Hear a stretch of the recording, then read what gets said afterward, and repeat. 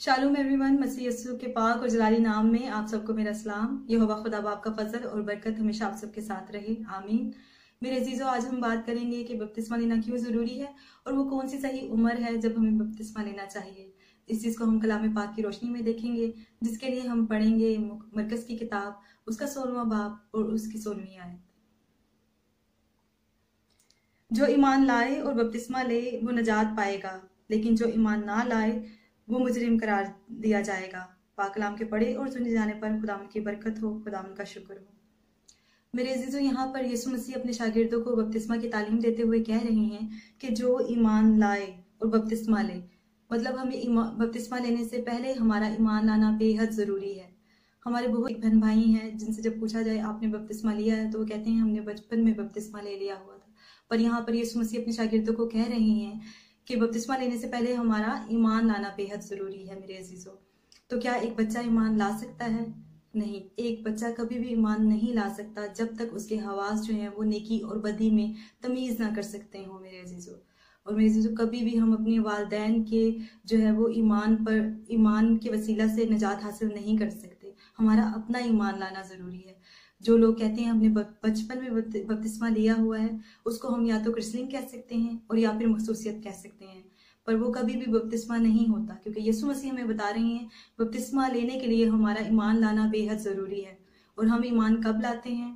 ہمارے اندر ایمان تب پیدا ہوتا ہے جب ہم یسو مسیح کی خوشخبری کو سنتے ہیں اور اس کو اپنے دل میں قبول کرتے ہیں کہ یسو مسیح ہی ہمارا نجات دہندہ ہے اور اس نے ہمارے گناہوں کے لیے جان دی ہے۔ تب جا کر جو ہے ہم بپتسمہ لیتے ہیں میرے عزیزوں اور بپتسمہ ہم کیوں لیتے ہیں؟ ہم بپتسمہ اس لیے لیتے ہیں کیونکہ ہم اپنی پرانی زندگی جو ہے گناہوں بھری زندگی ہے، اس کو ختم کرتے ہیں، اس سے توبہ کرتے ہیں، اپنے گناہوں سے توبہ کرتے ہیں اور ہم ایک نئے سرے سے پیدا ہوتے ہیں روحانی طور پر اور اس زندگی کو جو ہے ہم یسو مسیح کے سپرد کرتے ہیں اور اس کے کلام کے مطابق گزارتے ہیں۔ ہم اس چیز کا عہد باندھتے ہیں کہ ہم صرف یسو کو فالو کریں گے۔ یہ ہے بپتسمہ میرے عزیزوں ایک بپتسمہ جو ہے وہ جو ہے ہماری جو اس کی یسو مسیح کی کلیسیا ہے یسو مسیح کے بیچ میں اور اس کی کلیسیا کے بیچ میں اس کا نکاح نامہ ہوتا ہے میرے عزیزوں اس لیے بپتسمہ لینا بے حد ضروری ہے۔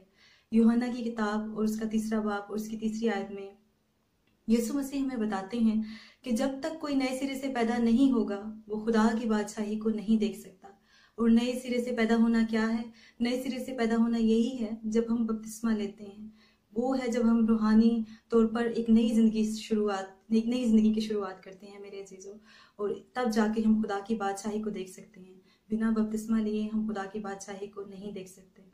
ہم سے بہت سے لوگ ہیں جو کہتے ہیں کہ وہ جو ڈاکو تھا سلیپ پر یسو مسیح کے ساتھ، اس نے بھی تو بپتسمہ نہیں لیا تھا، مگر اس نے نجات پائی تھی۔